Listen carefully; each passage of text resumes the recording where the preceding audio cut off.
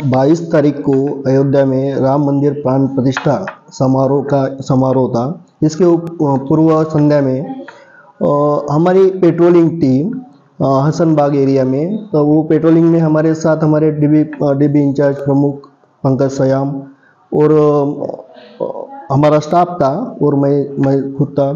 तो हम पेट्रोलिंग कर रहे थे तो उस दरमियान हमको खुफिया जानकारी मिली कि हसनबाग चौकी के पास दो लड़के देशी कट्टा लेके हैं। तो ये जानकारी के तौर पर हम वहाँ पे गए और वो दो लड़के को हमने डिटेन किया और उसको पुलिस थाने लाए और उस, उनका नाम वगैरह पूछा। तो एक ने नाम बताया नौशद अंसारी, सलाउद्दीन अंसारी। उम्र 20 साल रहना हसनबाग और दूसरा मोहम्मद शाकिब मोहम्मद सादिक। उम्र 22 साल रहना हसनबाग। ये दो लड़के को डिटेन किया तो उनके तरफ़ से जानकारी मिली कि वो जो देसी कट्टे हैं दो तो वो घर में छुपाए हैं नौशाद के घर में छुपाए हैं।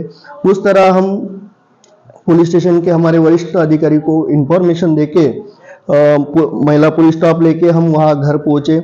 तो वहाँ पे हमको नौशाद के घर में कपाट में एक, एक कपाट था। उसमें हमको दो देसी कट्टे मिले और मैगजीन में एक मैगजीन में चार राउंड और दूसरे मैगजीन में तीन राउंड ऐसे कट्टे मिले।